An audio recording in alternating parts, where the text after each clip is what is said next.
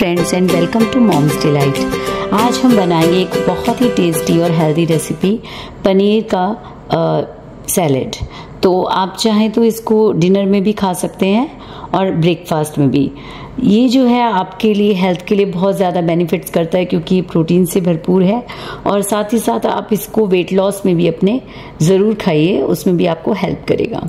तो चलिए हम बनाना स्टार्ट करते हैं. इस सैलेड के लिए सबसे पहले मैंने यहाँ पे पनीर लिया है और पनीर को मैं क्यूब्स में कट कर रही हूँ।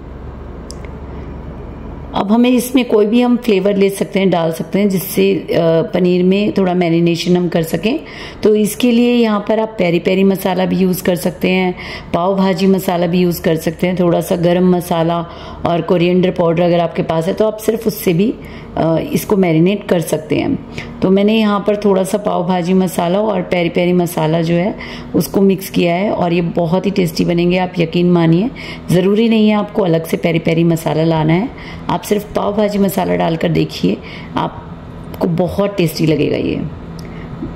और आपके पास अब जो भी वेजीज हैं, उनको आप जूलियंस में कट कर लीजिए लंबी लंबी स्लाइसेस जो हैं, उसमें हम कट कर लेंगे। तो यहाँ पे मेरे पास गाजर है, शिमला मिर्च है खीरा है, टमाटर है। और आपके पास और भी कोई वेजीज हों, जैसे कि बेल पेपर्स हों आपके पास तो वो भी आप इसमें डाल सकते हैं। कॉर्न भी आप डाल सकते हैं, लेकिन डिनर में जो है कॉर्न थोड़ा सा अवॉइड ही करने चाहिए। तो मैंने यहाँ पर जो है वेजीज को मैं लंबे लंबे काट लूँगी सारी वेजीज को। अच्छा आप चाहे तो यहाँ पर पनीर की जगह तोफू भी यूज़ कर सकते हैं। और या फिर आप जैसे सोया है, सोया को आप आधा घंटा सोप कर लीजिए और आप उनको भी फिर निचोड़ कर और थोड़ा सा रोस्ट करके आप यूज़ कर सकते हैं। पर जिसको भी आप ले रहे हैं, उसको मैरिनेट कर लीजिएगा ताकि आपकी जो रेसिपी है, वो हेल्थी के साथ साथ टेस्टी भी बने।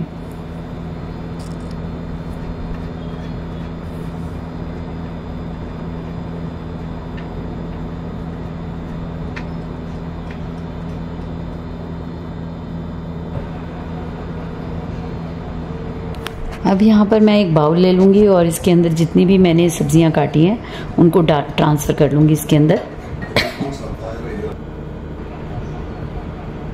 और मैं यहाँ पे प्याज काटना भूल गई थी।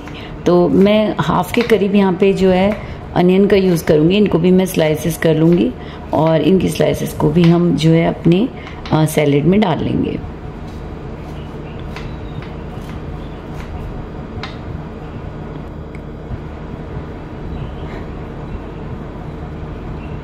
ये जो रेसिपी है, इसके अंदर आपके ऊपर कोई रिस्ट्रिक्शन नहीं है कि आपको किस तरह की वेजीज लेनी है।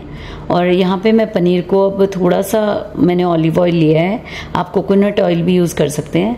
तो उसके अंदर आप हल्का सा उसको रोस्ट कर लीजिए, ताकि जो भी मसाला हमने डाला था मैरिनेशन किया था पनीर का, वो उसमें अच्छी तरह से फ्लेवर्स आ जाएँ।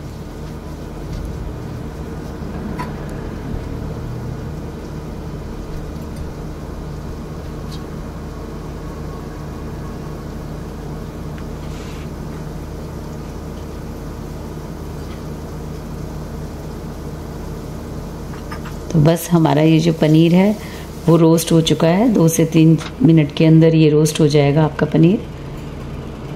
अब इसके बाद हम बनाते हैं ड्रेसिंग उसके लिए मैंने यहाँ पे हंग कर्ड लिया है। मैंने थोड़ा सा जो कर्ड था, एक कटोरी के करीब, उसको छलनी में रख लिया था। देखिए इस तरह से वो आधे घंटे के अंदर ही आपका जो है पानी सारा निकल जाएगा। और अब हम इस कर्ड को ले लेंगे। आप यहाँ पर योगर्ट भी यूज़ कर सकते हैं, अगर आप चाहें तो। वो और भी ज़्यादा हेल्थियर ऑप्शन हो जाएगा। बाकी मैंने होममेड यहाँ पर कर्ड लिया था और उसमें मैं थोड़े सा नींबू का रस डाल लूँगी।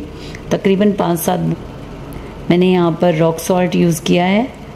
आप चाहें तो यहाँ पर काला नमक भी डाल सकते हैं और काली मिर्च भी डाल सकते हैं। मैंने उसके बाद डाला इसमें थोड़ा सा ऑलिव ऑयल मैं बहुत ज़्यादा ऑयल यूज़ नहीं कर रही हूँ इस ड्रेसिंग में। तो मैंने यहाँ पे हाफ़ टी स्पून के करीब लिया होगा ऑलिव ऑयल को।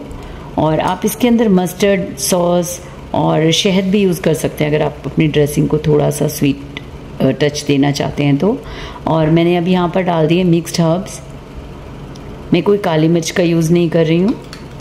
लेकिन डाइजेस्टिव के सिस्टम के लिए बहुत अच्छी होती है ब्लैक पेपर तो आप चाहें तो उसको डाल सकते हैं थोड़ा सा तो बस, हमारी इतनी सिंपल सी इजी सी जो है ड्रेसिंग बन जाएगी। मैं अब इसमें थोड़ा सा चिली सॉस डाल रही हूँ ताकि, क्योंकि मैंने ब्लैक पेपर नहीं डाला तो थोड़ा सा चिली का फ्लेवर आ जाए इसके अंदर।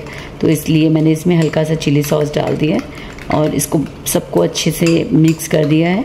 और बस अब अपनी जो हमारी सैलड थी, उस बाउल के अंदर हम ये अपना जो ड्रेसिंग है, उसको ट्रांसफ़र कर लेंगे।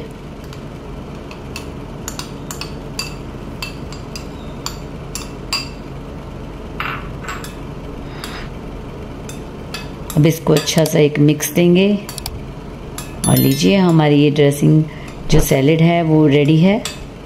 अब हम इसको सर्व करते हैं।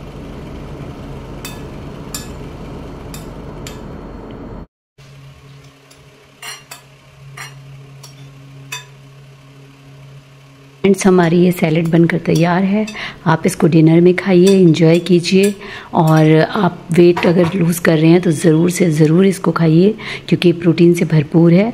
और आपको मैंने पहले ही बताया कि इसमें आप पनीर की जगह तोफ़ू भी यूज़ कर सकती हैं और सोयाबीन भी चंक्स भी डाल सकती हैं। तो अगर आपको मेरी रेसिपी पसंद आई है तो फ्रेंड्स प्लीज़ मेरे चैनल को सब्सक्राइब कीजिए और लाइक कीजिए मेरी वीडियोस को। थैंक यू सो मच मिलती हूँ नेक्स्ट वीडियो में। बाय